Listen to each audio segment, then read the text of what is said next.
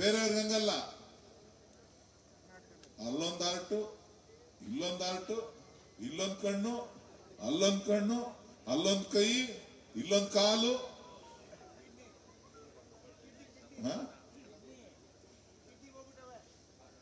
ಈಗ, ಈಗೇನು ಹೊಸ ವರ್ಷ ಗೊತ್ತಾ? ಈಗ ಈಗ ಇವ್ರು ಕಾಂಗ್ರೆಸ್ ಬಂದ್ಬಿಟ್ಮೇಲೆ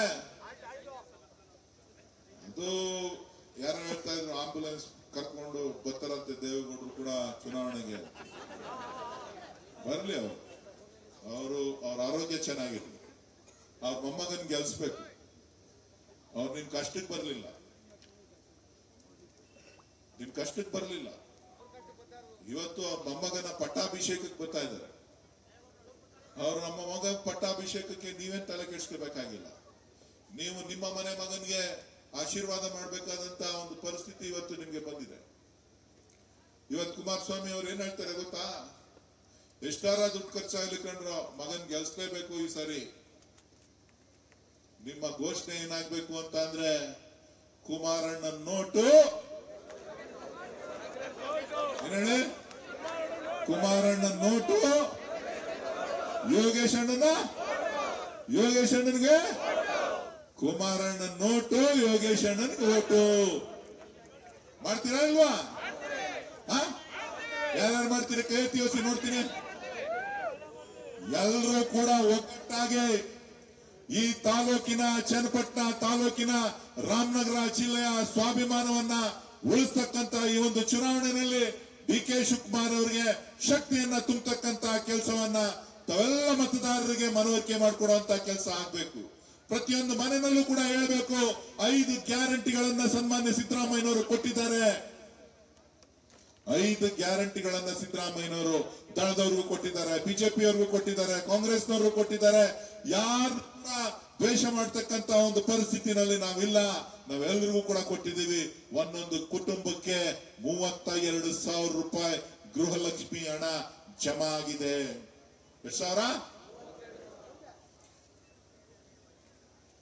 ಕುಮಾರಸ್ವಾಮಿ ಕಾಲದಲ್ಲಿ ಆಗಿರ್ಲಿಲ್ಲ ರೀ. ಯಡಿಯೂರಪ್ಪನವ್ರ ಕಾಲದಲ್ಲಿ ಆಗ್ಲಿಲ್ಲ.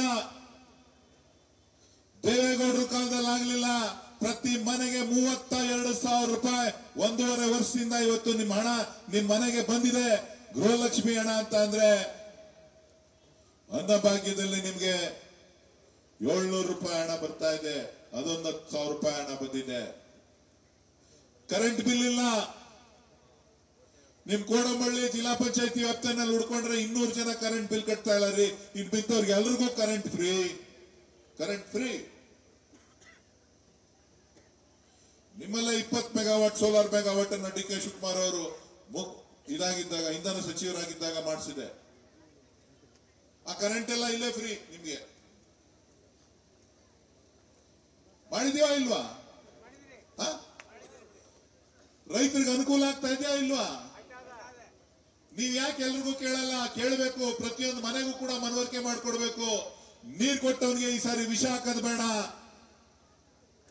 ಇವತ್ತು ಯಾರು ಕಷ್ಟಪಟ್ಟು ನಮ್ಮ ರೈತರಿಗೋಸ್ಕರ, ನಮ್ಮ ತಾಲೂಕಿಗೋಸ್ಕರ, ನಮ್ಮ ಜಿಲ್ಲೆಗೋಸ್ಕರ ಇವತ್ತು ಏನೇ ಭಿನ್ನಾಭಿಪ್ರಾಯಗಳಿದ್ರು ಕೂಡ ಡಿ ಕೆ ಶಿವಕುಮಾರ್ ಅವರು, ಡಿ ಕೆ ಸುರೇಶ್ ಅವರು ಯೋಗೇಶ್ವರ್ ಅವರು ಬಾಲಕೃಷ್ಣರವರು ನಾವೆಲ್ಲ ಸೇರಿ ಒಗ್ಗಟ್ಟಾಗಿ ಇವತ್ತು ಪುಟ್ಟಣ್ಣವರು, ಅಶ್ವಥ್ ಅವರು, ನಾವೆಲ್ಲ ಸೇರಿ ಒಗ್ಗಟ್ಟಾಗಿದ್ದೀವಿ. ನಾವು ಈ ಜಿಲ್ಲೆಯ ಅಭಿವೃದ್ಧಿಯನ್ನ ಮಾಡಬೇಕು. ಈ ಜಿಲ್ಲೆಗೆ ಇಡೀ ರಾಜ್ಯದಲ್ಲಿ ನಂಬರ್ ಒನ್ ಸ್ಥಾನ ಕೊಡಬೇಕು ಅಂತಕ್ಕಂತ ಸಂಕಲ್ಪವನ್ನ ಇಟ್ಕೊಂಡು ನಾವು ಕೆಲಸ ಮಾಡ್ತಾ ಇದ್ದೀವಿ. ಅದಕ್ಕೆ ಆಶೀರ್ವಾದ ಮಾಡ್ಲಿಕ್ಕೆ ಹೇಳ್ತಾ ಇದ್ದೀವಿ. ಮಾಡಬಹುದಾಗಿತ್ತು ಒಂದು ಕೈಗಾರಿಕಾ ಪ್ರದೇಶ ಮಾಡಿ ಕೈಗಾರಿಕೆಗಳನ್ನ ತಂದು ಮುಖ್ಯಮಂತ್ರಿ ಆಗಿದ್ದಾಗ ತಂದು ಇಲ್ಲಿ ಮಕ್ಕಳಿಗೆ ಕೆಲಸ ಕೊಡಿಸ್ಬೋದಾಗಿತ್ತು. ಕೊಡ್ಸಕ್ ಆಯ್ತಿರ್ಲಿಲ್ಲ ಅಣ್ಣ, ಹುಡುಗರು?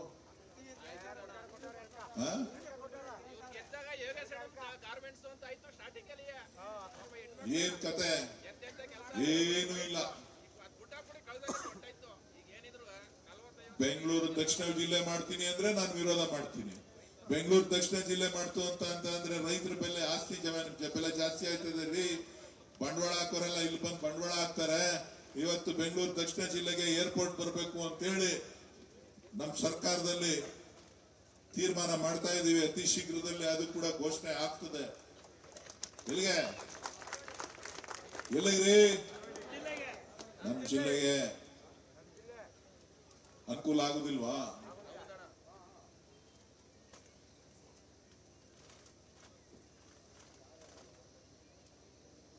ಇವತ್ತು ನಾ ತಮ್ಮಲ್ಲಿ ಮನವಿ ಮಾಡೋದಿಷ್ಟೇ. ನಿಮಗೊಂದು ಸುವರ್ಣಾವಕಾಶ.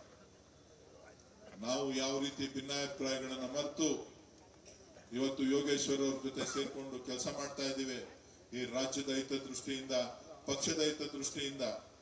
ಸಿದ್ದರಾಮಯ್ಯನವ್ರ ಮೇಲೆ ಏನ್ ಸುಳ್ಳು ಆರೋಪಗಳನ್ನ ಮಾಡದ್ದು ಮಾಡುತ್ತೆ, ಕಾಂಗ್ರೆಸ್ ಅವ್ರ ಮೇಲೆ ಸುಳ್ಳು ಆರೋಪಗಳನ್ನ ಮಾಡಿದ್ದು ಮಾಡುತ್ತೆ, ಇವ್ರು ಮಾತ್ರ ಹರಿಶ್ಚಂದ್ರು ನಾವೆಲ್ಲ ಕಳ್ಳರು ಅನ್ನುತ್ತಾರೆ.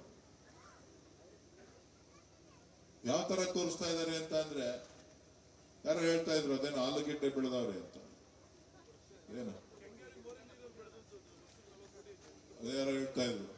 ಕೆಂಗೇರಿನಲ್ಲಿ ನಲವತ್ತು ಕೋಟಿ ವರ್ಷಕ್ಕೆ ಜಾಸ್ತಿ ಆಗಿದ್ದಂತೆ ಮೋರಿ ನೀರಲ್ಲಿ ಬಂದು ಬೆಳೆದಿದ್ದಂಥದ್ದು ಕೆಂಗೇರಿ ನಲವತ್ತೆಂಟು ಕೋಟಿ ಜಾಸ್ತಿ.